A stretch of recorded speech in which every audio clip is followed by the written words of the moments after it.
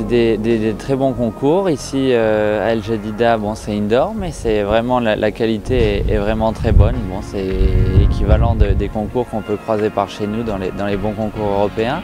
C'était aussi une très belle piste extérieure avec un, cadre qui est très joli les pistes euh, sont de très bonne qualité. On est vraiment dans, du concours qui est quand même bien abouti et qui est vraiment prêt à recevoir, euh, je dirais, à peu près tous les grands cavaliers et de, passer à une étoile supérieure, je pense, pour deux d'entre eux l'année prochaine.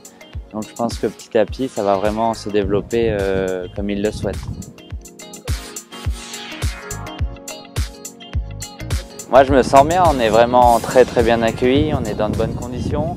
J'ai emmené des chevaux qui, sont, qui ont un peu moins d'expérience mais qui, sautent très bien. Donc je suis aussi très satisfait de, ce que font mes chevaux dans les épreuves. Donc voilà, pour moi ça, se passe bien sur ces concours-là. Et je pense qu'il y a vraiment un, gros potentiel euh, dans les cavaliers dont s'occupe mon père. Euh, il faut encore euh, avancer et continuer de, les faire progresser. Ils sont vraiment motivés, mais je pense qu'il y a vraiment une, envie, euh, que ce soit au niveau de, la fédération, du prince, du roi, des cavaliers, vraiment de, percer. C'est quand même à la base de toute façon des gens de chevaux qui ont un bon feeling avec les chevaux. Et je pense que voilà, il y a quelques cavaliers qui, vont finir par vraiment sortir leur, leur épingle du jeu. Bon, on a Kébir qui est qui a déjà fait de très bonnes choses. Il y a Samy qui, aujourd'hui euh, en Europe, même dans les 3-4 étoiles, est régulièrement classé dans les Grands Prix.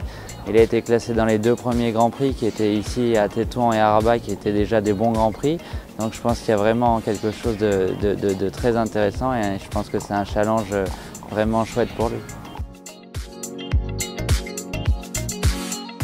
je pense que ça peut devenir quelque chose où les gens vont finir la saison euh, ici c'est trois semaines de concours, donc euh, c'est aussi intéressant de faire le déplacement. Après, euh, c'est pas si loin que ça. Je veux dire, euh, moi été à Oslo la semaine dernière. C'est des concours qui sont à la même distance que de venir ici. Donc voilà, après en fonction du choix, je dirais des, étoiles, c'est un peu comme ça que les cavaliers font leur choix. Maintenant au niveau des infrastructures, il n'y a pas grand chose à changer, voire quasiment rien à changer pour faire une ou deux étoiles de plus. On essaye, toujours, de, quand il y a besoin, de, donner deux, trois petits conseils, évidemment, quand les gens sont demandeurs. Euh, après nous, ça nous permet aussi de voir euh, d'autres chevaux qu'on n'a pas l'habitude de voir, éventuellement, de, voilà, on est toujours à la recherche de nouveaux chevaux. Donc euh, quand on fait vraiment beaucoup de 5 étoiles, on voit toujours un peu les mêmes chevaux. C'est des chevaux qui sont déjà aboutis et déjà prêts. Donc c'est toujours intéressant de toute façon de, voir d'autres groupes de chevaux se déplacer et comment ils sautent toujours intéressant dans tous les cas.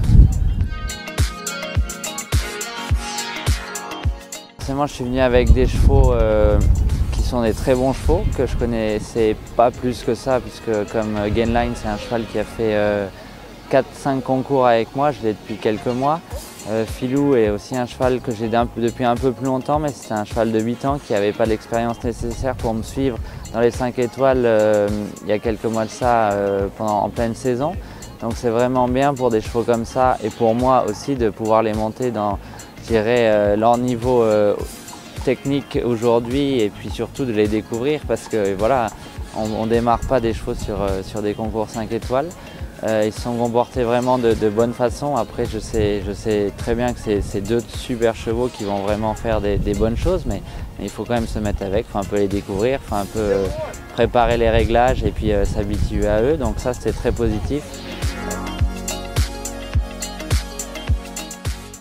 Pour la suite de la saison, je vais aller à Vérone euh, la semaine prochaine et puis Lyon dans la foulée. Et après, on a Doha, la finale du, Global Champions Tour. Et puis après, on reprend le, circuit, euh, Coupe du Monde avec Genève et Paris au milieu. On a la finale Coupe du Monde qui est à Bercy cette année, donc forcément on a, vraiment à cœur de pouvoir se qualifier pour y participer. Et puis euh, à un peu plus long terme, il y a les championnats du monde. Ça c'est d'ici un an, mais, euh, mais voilà, c'est les grandes lignes euh, pour les, pour les échéances, c'est ça.